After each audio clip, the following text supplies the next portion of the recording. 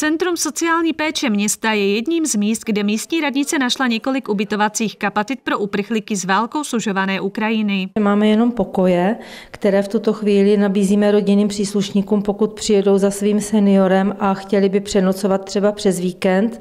Takže to je jenom maličký pokoj. Část těch pokojů má už upravenou koupelnu a část pokojů je jenom s umyvadlem, případně s WC.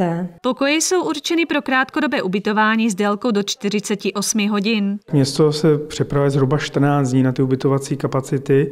Samozřejmě jsme eh, vnímali tu situaci z těch médií a z těch informací, které jsme dostávali například od Pardubického kraje. Dočasné bydlení s trváním do jednoho měsíce je vyhrazeno ve stacionáři. Výhodou je samostatný vstup z boční strany. Uprchlíkům jsou dispozici čtyři bezbariérové byty, které byly původně určeny pro chráněné bydlení osob s mentálním postižením. Je to víceméně jedna plus jedna, ale i s bezbariérovou koupelnou. Jsou částečně vybavené, je tady kuchyňská linka, nějaký stůl, lednička. Každý Každý byt rovněž disponuje sporákem, mikrovlnkou nebo rychlovarnou konvicí. Museli bychom dovybavit eh, lůžkoviny a vůbec eh, lůžka a potom ty předměty denní potřeby, ať, ať už nádobí nebo, nebo věci těch, těch hygienických potřeb.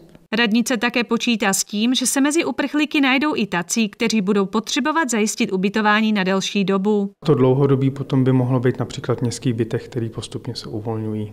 Z hlediska dlouhodobého ubytování je nejprve nutné, aby eh, každý eh, uprchlík prošel registračním místem, které nejblíž je v Pardubicích. Město také komunikuje s lidmi nabízejícími individuální ubytování ve svých příbytcích. Podle statistik teďka je tady ubytovaných zhruba 135 lidí, kteří jsou převážně ubytovány právě po rodinách v domácnostech. V případě příjezdu větších skupin je ve hře i ubytování ve školských zařízeních. Místní radnice už od počátku války nabízí uprchlíkům další formy pomoci. Hned v prvních dnech jsme udělali ohromnou sbírku eh, Pardubický kraj využívá i toho, že jsme v blízkosti, takže i naši dobrovolní hasiči jezdí do Český Třeboví, do centrálního skladu, kde pomáhají vlastně.